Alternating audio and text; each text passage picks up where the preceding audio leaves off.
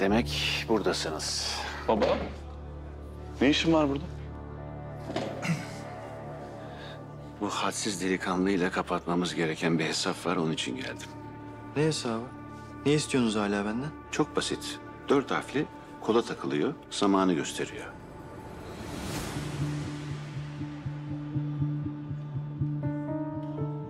Annemin saatlerini hemen istiyorum. Tamam. Aklımda getireceğim. Aklında olması benim için hiçbir anlam ifade etmiyor genç olan. O saatleri yarın istiyorum. Eğer getirmezsen polise giderim. 500 bin dolarlık saatlerimizi çaldı derim. Anlaştık mı? Anlaştık. Ömer'in kafa gitti, oyunda bitti. Şah ve mat hocam. Bakın buraya kadar gelmenize gerek yoktu. Ben zaten getirecektim saatleri. Tamam eve biliyorsun zaten. Yarın görüşürüz. Tamam? Hadi bakalım.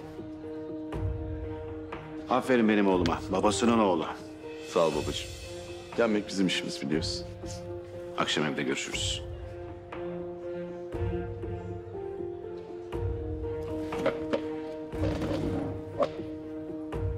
Hem gaspçı hem hırsız ya. Ulan on parmağında da on marifet varmış. Lan oğlum. Ömer, ne oluyor orada? Bir şey yok hocam. Arkadaş mağlubiyeti kaldıramadı da.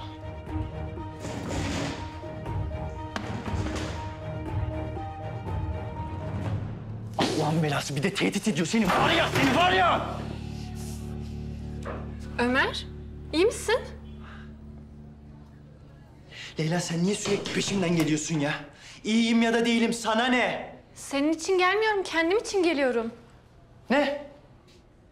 Çaresiz birini gördüğümde dayanamıyorum, yardım etmek istiyorum. Durduramıyorum yani kendimi. Ne yapayım? Huyum bu.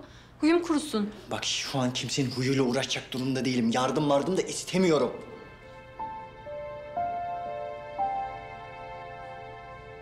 Adamın dediği saatleri yarına kadar vermezsen başına büyük bir iş açacak gibi duruyor. Şakası yok gibiydi. Duydum ben de Leyla. Sağ ol. Sağ ol.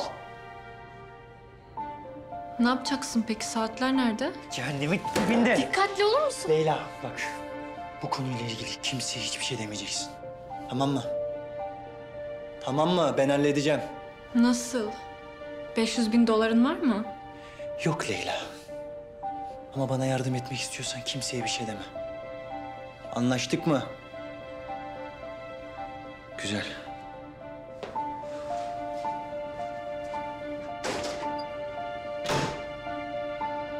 Bugün dünden iyi yarın belki gökyüzü sızacakmış küçük penceremden. Öyle yine de ışık aramakla geçecek.